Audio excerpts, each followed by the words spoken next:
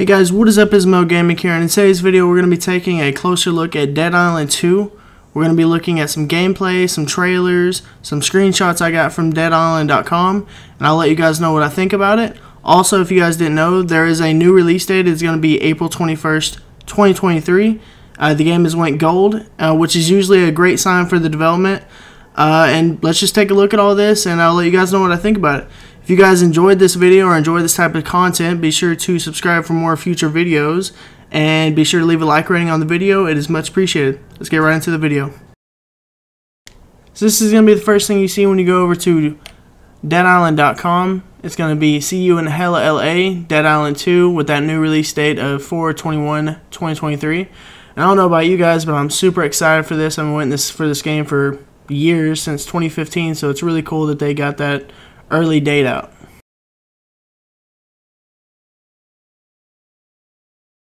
Alright, the next thing we're going to be taking a look at here is the Cinematic Co-op Adventure. As a proper RPG experience, Dead Island 2 offers plenty of exciting quests, a crazy cast of characters, and a thrilling pulp story to truly immerse you in its twisted universe. Replayability is guaranteed, and an over-the-top co-op mode for up to three players, and you'll stay in LA for a very long and gory trip. Uh, guys, Dead Island, the original Dead Island, had one of the best co-op experiences I've ever had, probably in my life.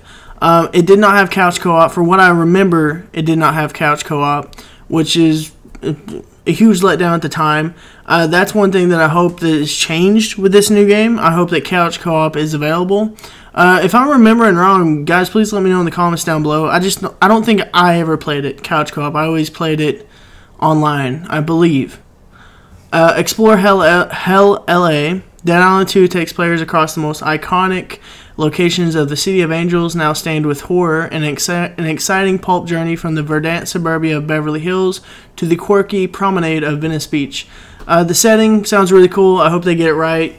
Uh, it's it's pretty hard to get it wrong, but uh, I really hope that it's as beautiful as they're saying, and I hope it's a lot like the real place. That would be really awesome. The next thing we're going to be taking a look at is the Brutal Melee Sandbox. Combat delivers the most intense, visceral, and gory first person experience possible, with plenty of weapons and tactical and brutal options to chew your way through the zombie horde. Whether you're slicing, smashing, burning, or ripping, we want you to truly feel it. Uh, that sounds really awesome. I really like the, uh, the vocabulary that they use for that little description. Um, I mean, it does I mean, part one was pretty was pretty gory, so you can only really up it from there.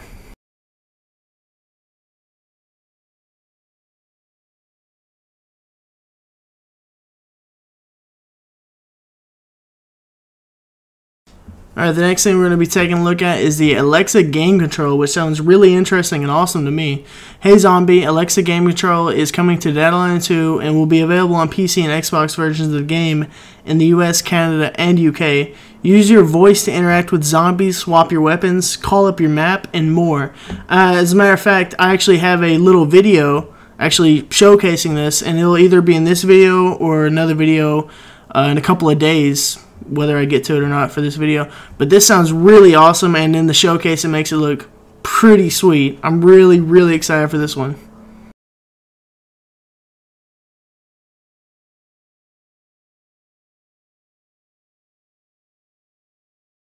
And these are just a few more things you can do with the Alexa game control. Uh, waypoints, players can ask the best route to watch uh, to match a vendor slash workbench. Fast travel map points of interest. Set a marker on a vendor. Where's the nearest workbench? Find me a point of interest. Fury, players can activate the devastating Fury power, go into Berserk for a few seconds to activate Fury. Fury on, light it up, let's hustle.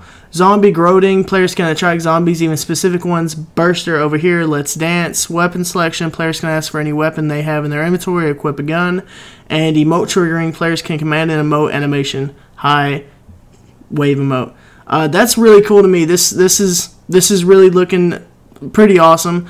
Uh, the fact that you can issue commands in game and do them, uh, I really like that, and I think it's gonna be innovative in the gaming industry. I think this is gonna be a big thing in the near future, and they're just one of the first to really try it.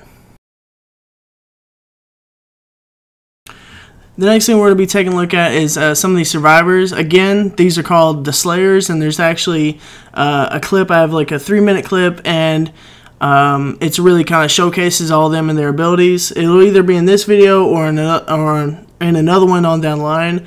Uh, so keep your eyes peeled for that one.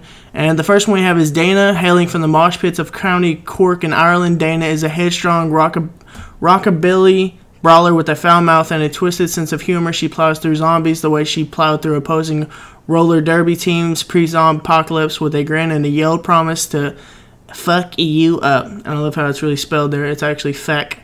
Uh, and her skills are blood loss. Dana regains health when slaying multiple zombies in quick succession. Uh, the next one we have is Carla. Carla is a motorcycle stunt rider, unfazed by rings of fire, jumps over ravines and midair flips, so the zombie apocalypse has barely made her break a sweat. Armed with street smarts and an outgoing disposition and boundless physical confidence, she's embraced the challenges of slaying her way through Hell LA with enthusiasm, and her skills include dig deep. Carly gets a moderate toughness boost while her health is critical. These uh, these characters, these uh, slayers as they're calling them, they sound really cool, and they sound like they'll be they'll have their own stories, and they'll be um, kind of like in how the original all the characters had their own stories, and and uh, everybody had a favorite character. Uh, I can't even remember mine's name, but it was the dude who's like, "Who do you voodoo?" He was really, I think it's Sam B. Anyway, uh, we got Amy collector's figurine. This is just another thing that was on the website. Immerse yourself in the stylish, vibrant world of Dead Island 2 with this exclusive collector's item. The stunning hand-painted resin figurine shows zombie slayer Amy chilling in Burger 66 with a milkshake. I just thought that that was pretty cool that you can uh, get a, uh, figurine. I think you actually get that if you pre-order, but I'm not for sure. I have to kind of take take a little bit more time to figure out exactly what that is.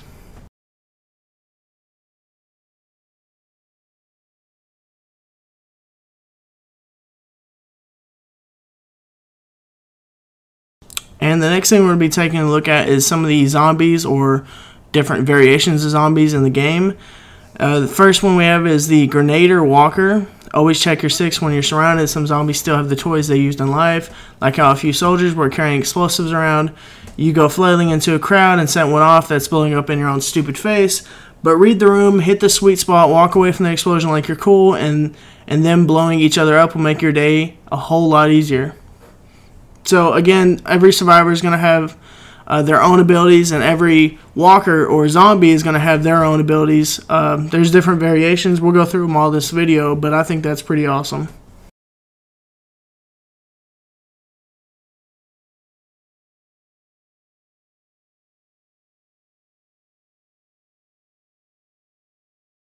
The next one we're going to be taking a look at is the Inferno Crusher. Now this right here is some real fucking voodoo shit. Can you believe these zombies let their own asses catch fire? Sam B reference. Thing is, they can take the heat. Any fire modified weapons you got, best just put that shit away because they'll just shrug it off. Put those flames out before you get turned into a burnt zombie chow. A splash of water or a Kim bomb, and these fuckers will lose what makes them so special. The Boogeyman Beast. Uh, again, this is just really cool. I love games that like do this kind of thing where um, not every not every zombie is alike, and there are very few games that can do it real good. I think Left 4 Dead. Uh, do you guys ever play that one? Was one the was one of the ones that got it real good with their specialty zombies and every every normal zombie like NPC zombies, I guess you could say. They all they all have their own attributes, and that's something I really enjoy to see.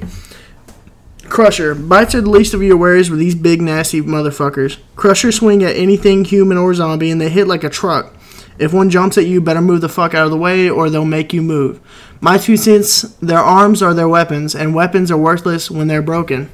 Uh, again, just just really cherry on top, cherry on top. All these uh, different zombies, and at the same time, they're telling you about them. They're also letting you know how to combat them, which is awesome it's really cool. I mean, I for one love to just go in myself and just get absolutely destroyed and got a kind of trial and error. But it's really cool that they're kind of including how you can beat them.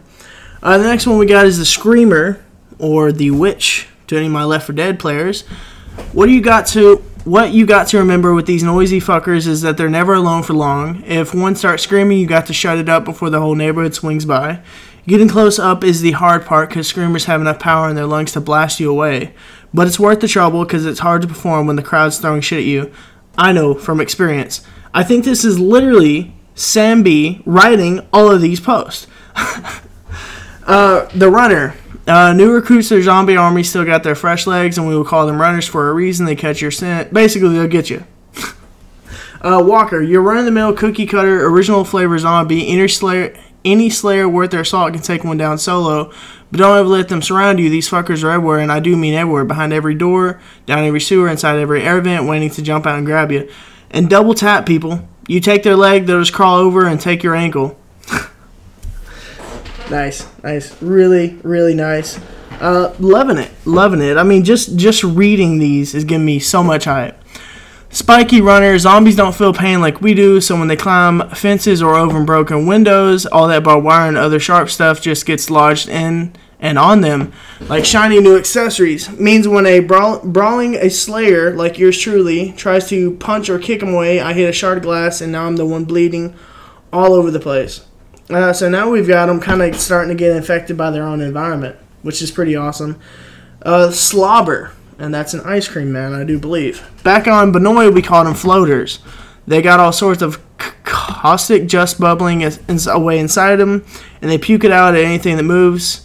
Uh, it smells like shit and melts flesh down to the bone. Slobbers can wade through the vomit like it's nothing, but you ain't got that luxury. Uh, I wanted to say something. Oh yeah, that reminded me of the Boomer from Left 4 Dead. I'm just doing a bunch of Left 4 Dead jokes now, guys. Uh, some older zombies are already falling apart from rot. Hell, I saw one hit me so hard it took its own dumbass arm off. Funniest shit I'd seen all day, but you take my point, and the slow and steady steadies can get to me. They will get to you. Till these walking dust piles are dead for good, they can still swing the hit that brings you down. And we're just getting started. Uh, that's just a crash course in the Zombie 101 Hell, Hell LA edition. The OC is bursting with these undead fuckers of all shapes and sizes. Each one brings their own voodoo tricks, and every last one of them looking to chow down on your sorry ass. You gotta stay loose, keep your gear in good shape, and make sure you got a tool for every situation out there. Don't, but don't worry, you stick with me and listen to what I got to say. I'll turn you into a real pro slayer, just like me. That has got to be Sam B. Anyway, all that sounds really cool, and uh, you can actually find me more info yeah, guys, I will leave a link down below in the description to the deadisland.com website where I got all the info for this. And like I said, there's even more info. You guys can really, you can spend hours going through everything on there. I didn't have time to for this video, though. I didn't want to make too long a video. Um, but I will definitely be covering more of this on my channel in the coming weeks. Uh, if you guys enjoyed this video, be sure to leave a like rating, and I will see you guys in the next video.